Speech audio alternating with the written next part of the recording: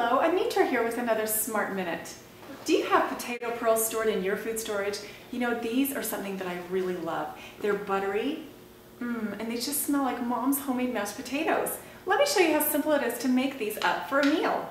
All you do is you take your potato pearls and you put them in a bowl. About one cup of potato pearls is enough for two servings. So you put them in the bowl and then you add some boiling water just enough to cover. Then you take your spoon and you just let them soak up the water and look at that. Magically, it turns into this beautiful, creamy, buttery mashed potato.